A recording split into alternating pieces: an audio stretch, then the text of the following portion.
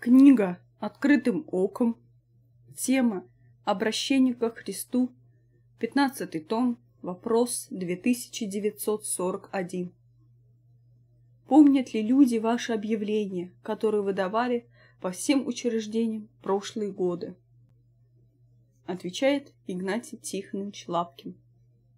Не только помнят, но у нас есть души, которые пришли через них Господу Христу Псалом 70, 18 стих. «И до старости, и до седины не оставь меня, Боже, доколе не возвещу силы Твоей роду сему и всем грядущим могущество Твоего». Игнатий Тихонович один год осенью обзванивал учебные заведения и приглашал на занятия по изучению Библии в Политехническом институте позволил, позвонил и в кооперативный техникум, где я тогда работала преподавателем. Завуч повесила в учительской объявление. Мне захотелось узнать, что это за книга, Библия. Родители у меня были неверующие, бабушек, дедушек не было в живых, я их никогда не видела. Верующих людей рядом со мной в общении не было. Я пришла на занятия. Все мне было интересно, необычно, удивительно. Игнатий Тихонович так пламенно говорил о крещении, что я, почерневшая головешка, загорелась. Сомнений не было. Надо креститься. К тому же при разговоре с домашними выяснилось, что в семье я одна не крещенная. Пошла в Покровский собор. На занятия тогда, это, был, это было в 1991-92 годах, я ходила нерегулярно, о серьезной подготовке к крещению и не задумывалась. Покровски пошла я с родной тетей верующей. Никто меня ни о чем не спросил. Я не исповедовалась. Побрызгали, одели крестик и пошла я, крещенная, продолжать грешить. Ни, раду, ни разу не исповедовалась и не причастилась. Слава Богу, что по моим грехам Господь не отнял желание слышать Слово Божие. Я продолжала ходить на занятия, из, них, из техникума нас пришло на занятие несколько человек. Остались только мы с Любовь Петровной, Брыткины, Брытковой. Когда подумаю об этом, плакать хочется. Ведь были много лучшие меня, более достойные. Господи, как велика милость Твоя!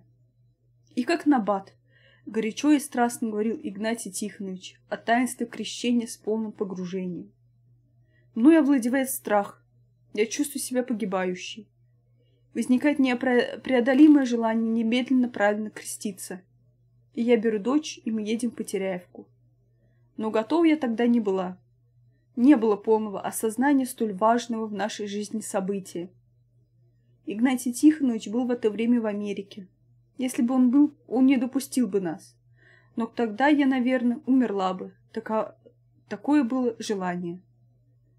Первая моя корявая исповедь и крещение на дальнем озере.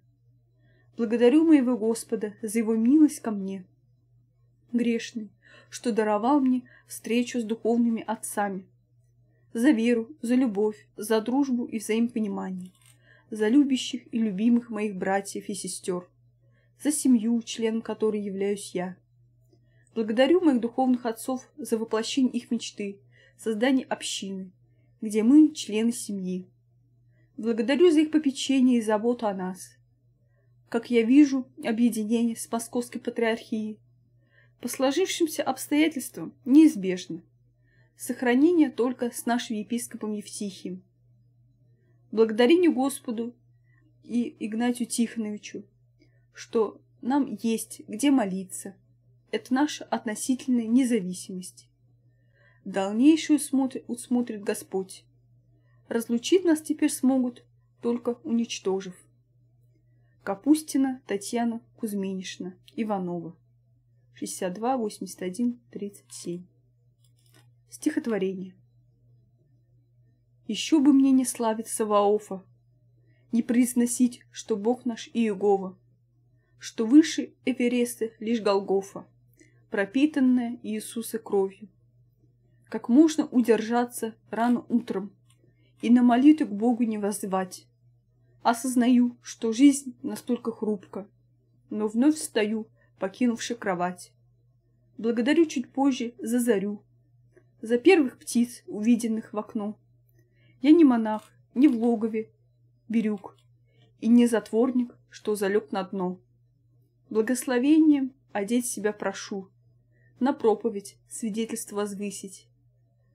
Куда и как свой выверить маршрут, пробиться к черепам усатым, лысым.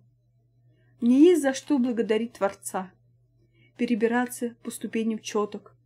Зайду к событиям то сбоку, то с торца. Везде чудесное, благодарение, шепот. Еще бы мне заранее не славить, когда обут, одет, здоров и при уме. Читаю наизусть стихи и главы и вижу. Бог со мной по множеству примет. Особенно забота от друзей. Накормлен ли, одет ли, звонит непрестанно. От их любви не комната, музей. Столб истины над скинией и станом. На удивление врагам плеяда книг. На зависть недругам свободы в изложении. Жизнь — вспышка молнии, всего короткий миг. Кто не оценит, горько пожалеет. Со словословием, с припевом «Аллилуйя» Молитвой день закончится в покое. И бодствует душа, хотя и сплю я. И не один, а с ангелом мы двое. Игнатий Лапкин, 2006 год.